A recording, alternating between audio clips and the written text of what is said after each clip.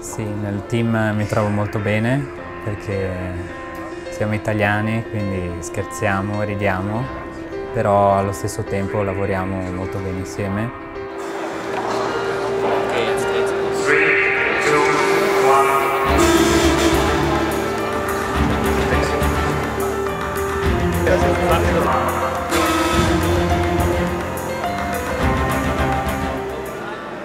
Mi sento un po' un pioniere perché stiamo usando, sto provando una tecnologia eh, che non è ancora conosciuta e può essere sviluppata per il futuro.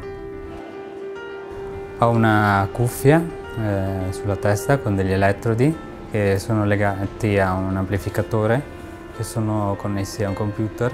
Riconosce i, i, le mie onde cerebrali che invio pensando a dei movimenti in base all'ostacolo eh, devo superare. Appunto elabora questi segnali e invia i comandi al, al gioco.